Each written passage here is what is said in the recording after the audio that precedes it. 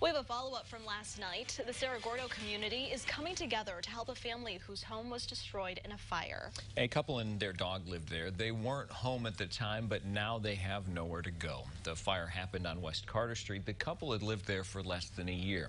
WCIA 3's Courtney Bunting joins us now. Courtney, what are people doing to help? Well, Paul, they're collecting items like household items as well as things like gift cards. But because the couple is still dealing with a huge loss, they aren't sure all they need yet. But the community of Cerro Gordo will be right there for them no matter what. We just want to be there to help. And they'll need it.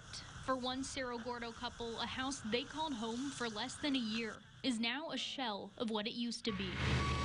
A fire started Monday night in the back of the home and spread quickly. Because that whole back wall actually was just a skeleton by the time the fire was put out. But before it was out, crews ran into trouble when they found out two fire hydrants near the home were broken.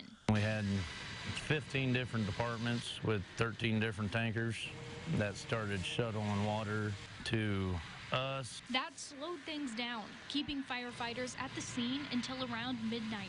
But the department's support of the couple doesn't end once the fire's out. Their women's auxiliary is now collecting donations to support the couple.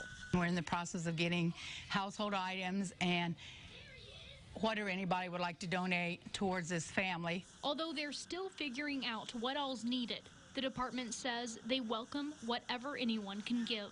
If we can't use everything and it's something that's not perishable, sure, we'll hold on to it and then we'll have it for the next next family that needs it. And that's one of our things is to be here and be available to help when someone needs something.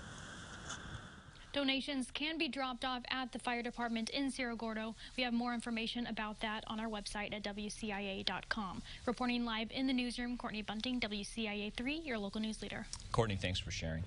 The state fire marshal is investigating the fire's cause. There's no specific time for when they expect to know what started it.